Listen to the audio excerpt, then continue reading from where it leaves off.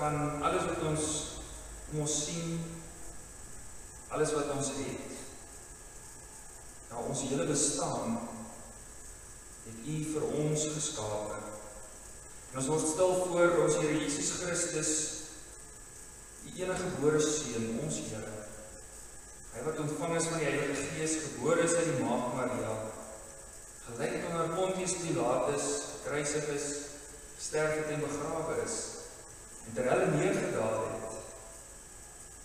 Maar wat weer vir ons uit dood het opgestaan het, opgevaar het in die hemel, waarna nou aan u regterhand sit en vir ons kom pleit.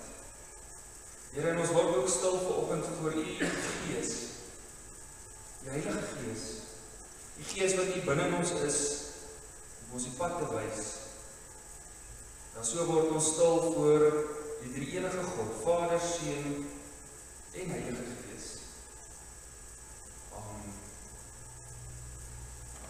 En die Here groet ons vanmôre met sy genade, sy barmhartigheid en ook sy wonderlike vrede. Ons gaan saam lees vanoggend uit die woord van die Here uit uit Matteus hoofstuk 2. En voordat ons saam lees, herinner oom Gert my.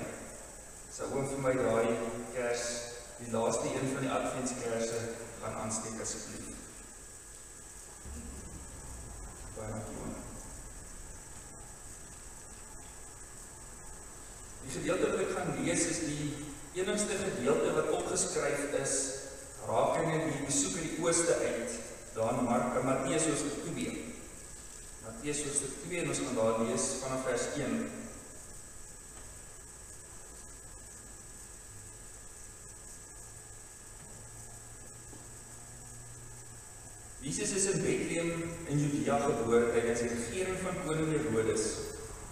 Na Jesus se geboorte het daar sterrekykers uit die ooste in Jerusalem aangekom en gevra: "Waar is hy wat as koning van die Jode gebore is? Ons het sy ster sien opkom en ons het gekom om aan hom hulde te bewys." Koning Herodes het hiervan hoor, was hy in die hele Jerusalem saam met hom ewig ontstel. Hy het die priesterhoofde en die skrifgeleerdes van die volk bymekaar geroep en hulle uitgevra oor waar die Christus gebore sou word. Hulle het hom geantwoord: In Bethlehem in Judea, want so is deur die profeet geskrywe. En jy Bethlehem gebied van Juda, is beslis nie die kleinste onder die leiers van Juda nie. Uit jou sal 'n leier voorkom wat vir my volk Israel 'n herder sal wees. En jy Bethlehem van Judea, is beslis nie die kleinste onder die leiers van Juda nie. Uit jou sal 'n leier voorkom wat vir die volk Israel 'n herder sal wees. Skriflesing tot sover.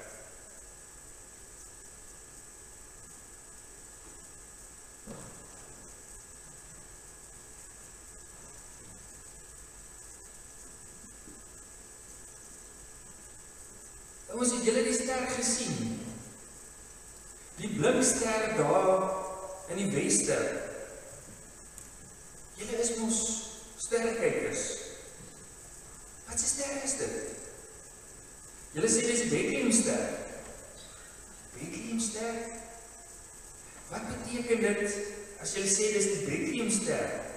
En hoekom sien ons skielik hierdie vreemde helder ster? O, jy sê is eintlik Jupiter en Saturnus wat saamval dat dit lyk of dit een groot ster is. So saamval dat mens nie die onderskeid tussen die twee kan sien nie. Maar dat die lig daarvan soveel helderder is. Vertel my so 'n bietjie meer van hierdie besonderse ster. Julle bestudeer mos die sterre. Julle kyk mos vir eeue reeds na die sterre. So julle sê Jupiter word ook Sedek genoem. Sedek wat beteken dat daar 'n Messias vir die Jode gebore sal word. Sedek Jupiter die ster van die verlosser wat beloof is. Maar wat van Saturnus? O, Saturnus is weer die ster van die Jode. Ster van die Jode. En jy sê vir my as hierdie twee sterre dan so saamval, dan beteken dit dat daar vir die Joodse volk 'n Messias, 'n verlosser gebore sal word.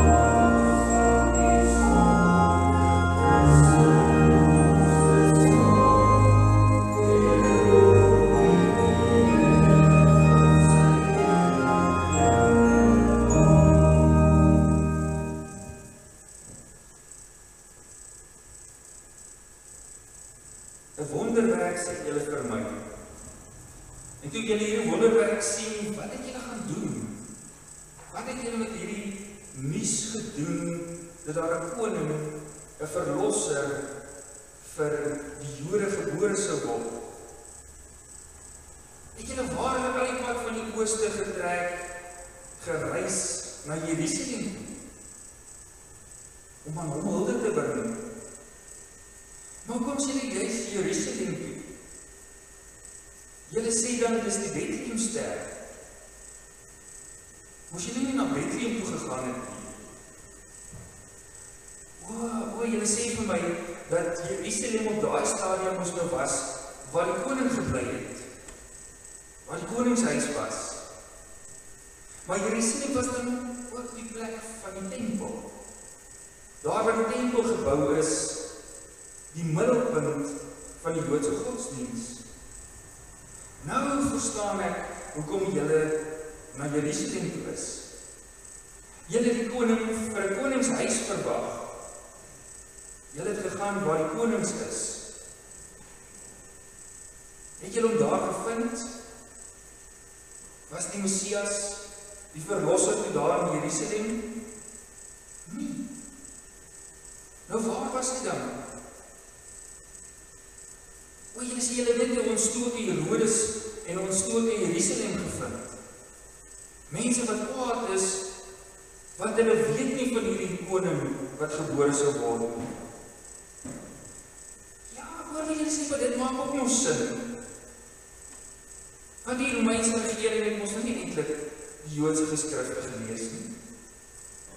Vir hulle was die geskiedenis van die Joodse volk en hoe die Here ons verlos het dis mos nie van hulle belangrik nie. Maar hoor wat julle sê. Julle het die koning gaan soek in die koningshuis. Maar waar het julle hom gevind? Waar was die koning? Waar was die verlosser toe? O, julle sê Bethlehem. Bethlehem? Daai klein dorpie daar langs Jerusalem. Maar maar hoekom sal hy nou daar wees? Hoekom sal die koning in 'n klein dorpie weg van die besige stad Jerusalem gebore word. Kom sy koning gebore word op die stil buitewyke van 'n kleiner dorpie wat in party mense se oë eintlik niks was nie. Klein dorpie wat op 'n stil stille nag verwerf het. Toe ons Here Jesus Christus daar gebore is, om sing in 348 vers 1 2 3 stille nag, heilige nag.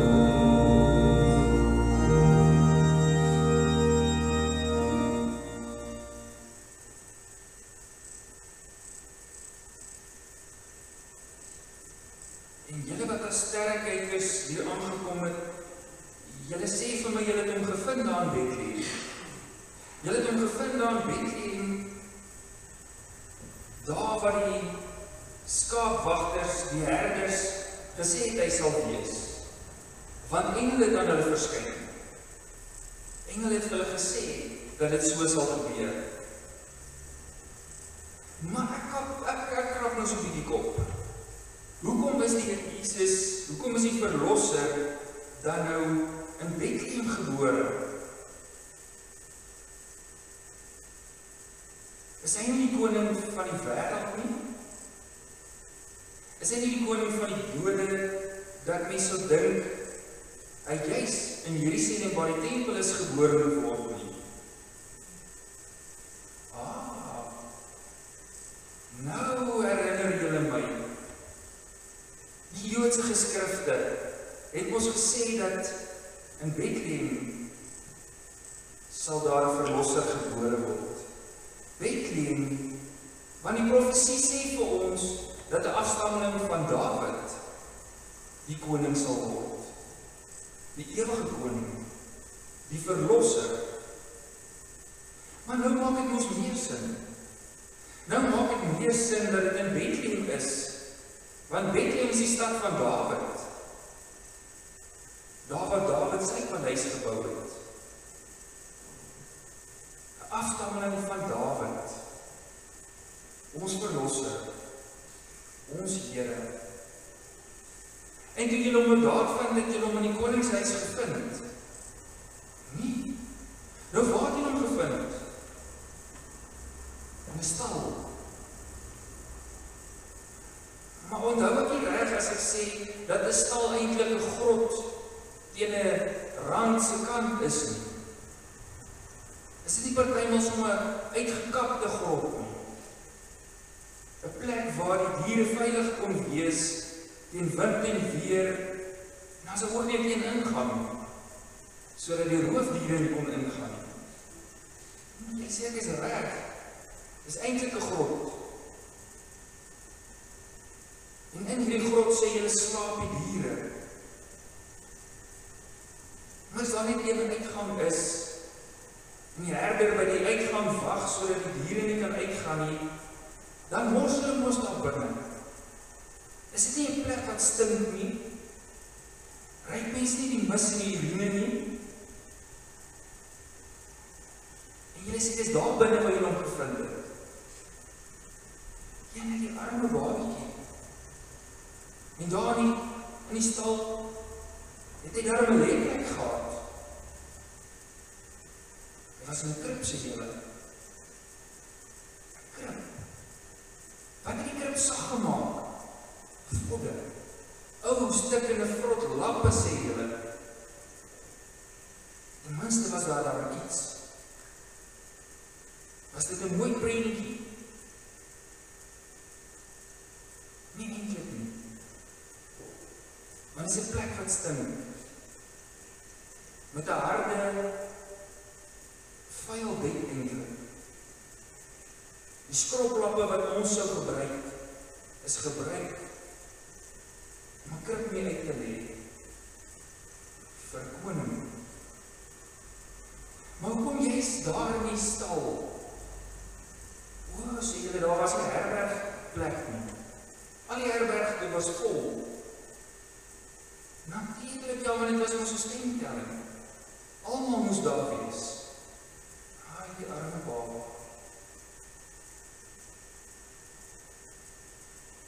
Vir ons ellende, ons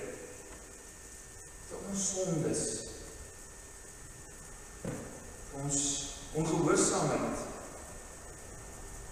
is die verlosser gebore. Is die verlosser gebore in 'n stal. Hy kom van 'n plaas af. Vir alles het so lekker reën soos in die laaste tyd dan is die stal nie die lekkerste reuk wat jy kry nie. Ons skakel al aan die weste kant van die huis daar op die plaas.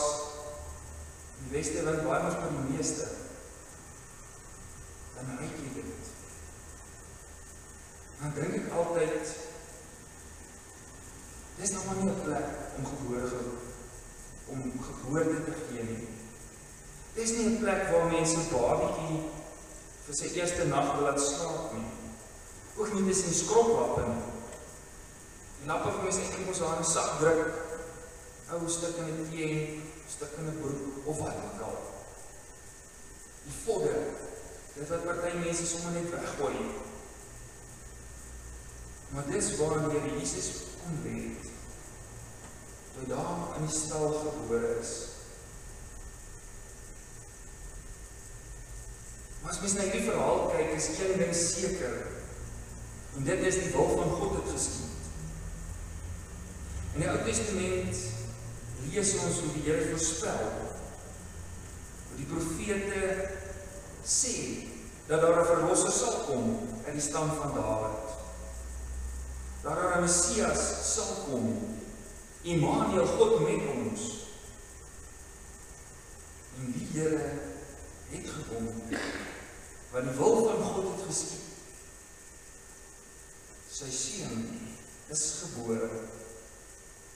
Hier op aarde weg van die hemelse paradys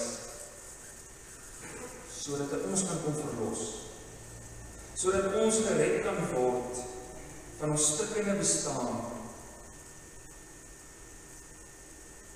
As familie het ons gister hier in Randfontein daar by Elise hulle geëet. En ons het hierdie jaar net vir al die kleintjies geskenke gekoop. En dan jy die opgewondenheid van die geskenke en ek hier weer is dit klein klits.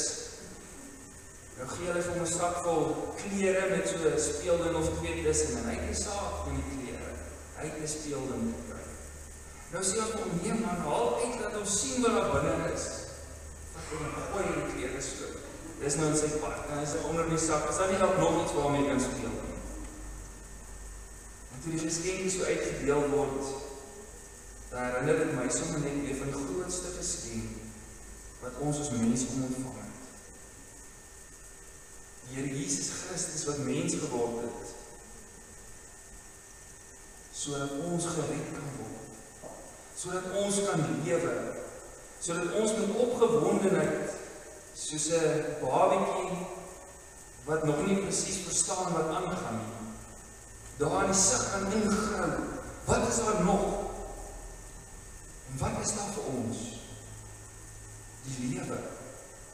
Die lewe wat God beloof het.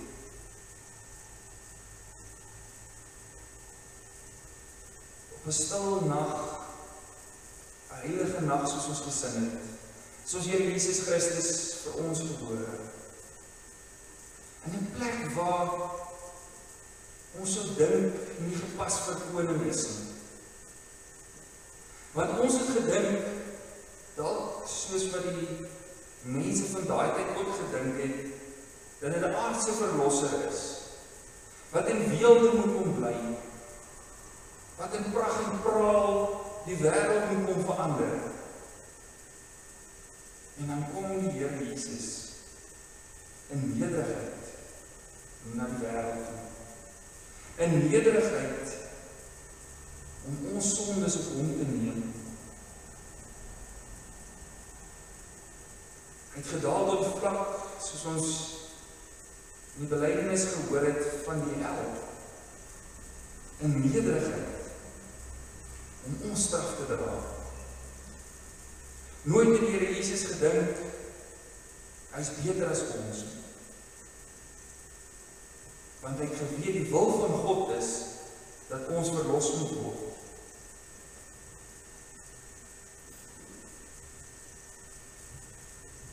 Vanoggend het jy weer sy laaste geskenk hierdie kant op van ons gaan van hier af so 'n bietjie plaas toe. Nou gee sy ma van my geskenk en dink ek Irma, jy jaag so om klaar te kry vir kerk. Jy kan nie hierdie net vir die kind gee en los nie. Want dis 'n hele so speelplek wat uit boks uit gesny is wat 'n brandweerbaas, want die kind is mal oor brandweerbaas. Toe weet ek sommer hier kom ons nou groot trane dal as die boks nie opgeslaan word. As die ding nie aan mekaar gesit word. En ja, toe ek gou daar aangespring en die meeste aan mekaar gesit. En toe ek dit so kom gee, En hy kan instorm maar deur die deurtjies agter en hy's so opgewonde. Toe dink ek, hoe wonderlik is dit nie? Dat ons hierdie tyd met mekaar kan deel. Dat ons saam as familie en vriende kan vier dat die Here Jesus mens geword het. Dat ons kan vier dat ons verlosser na die wêreld toe gekom het. Hoe wonderlik is dit nie dat elke geskenk wat ons ontvang ook vir ons kan herinner. Maar hoe wonderlik sal dit ook wees as ons lewens 'n geskenk is vir elkeen om ons. Dat ons lewens mense so sal aanspoor dat hulle ook sal wil weet wie is die Here Jesus? Wie is hierdie verlosser?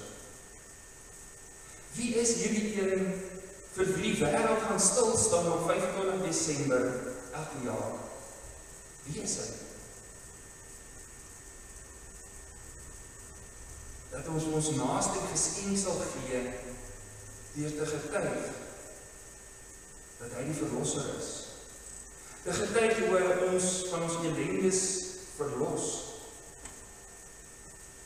Maar ons kom red uit ons nood uit. In die COVID tyd is daar eintlik soveel wonderlike getuienisse wat ek al gehoor het. Van mense wat in die ICU beland het.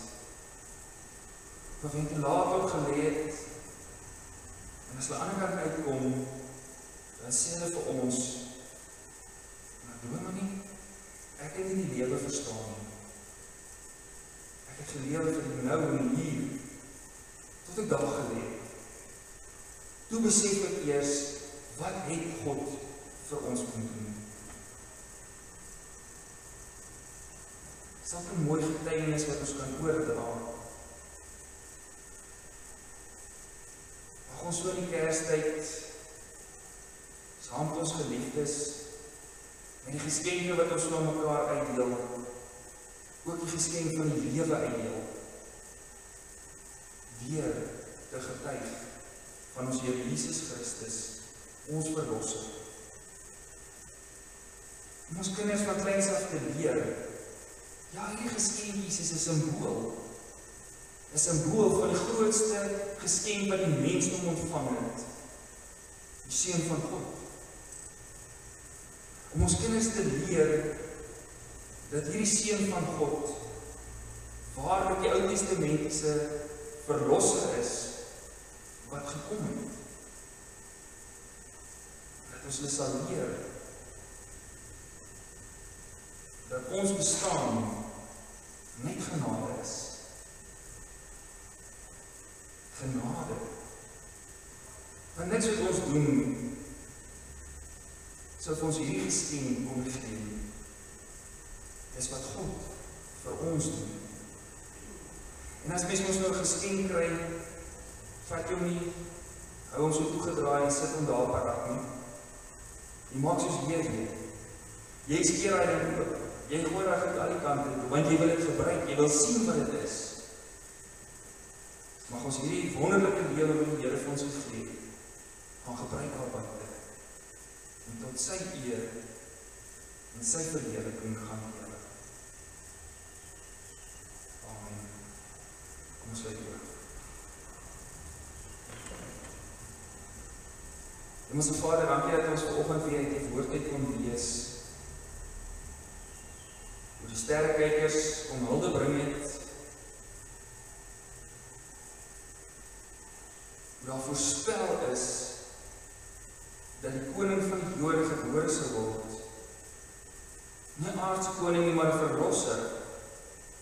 U seun, ons Here Jesus Christus.